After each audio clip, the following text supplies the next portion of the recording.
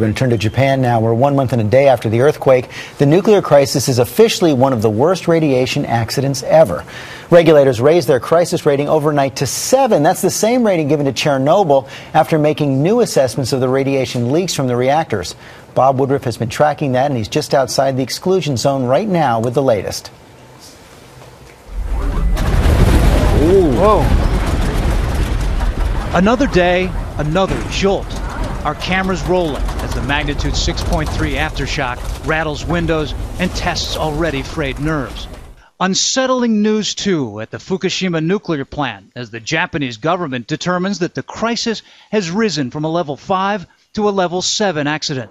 The first time that's happened since Chernobyl 25 years ago. Under these situations, I think it's prudent to get people out because once you're exposed to radiation, you cannot undo the radiation. The decision came because the amount of radioactive iodine already released could have widespread health effects.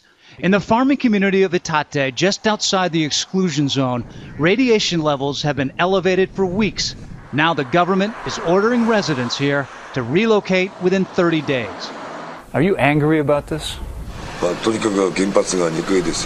I am absolutely sickened, he says. I hate those nuclear plants. Kenichi Hasegawa has been raising dairy cows here for 35 years. He is now forbidden from selling his milk. He cannot even take his animals out because the soil is contaminated. So now, each afternoon, Hasegawa pours his milk into a tank, drives up a hill, and dumps his milk and his profits into a ditch. Now, you should know that we're about 25 miles away from the nuclear uh, facilities, but we are not dangerous here because we actually are just going to be here for a little short period of time. It's the people that live here for long periods of time. They're concerned about them, so they're going to try to get them out of here after about, uh, about 30 days. George? Right. No one has a good handle on the long term effects. Okay, Bob, thanks very much.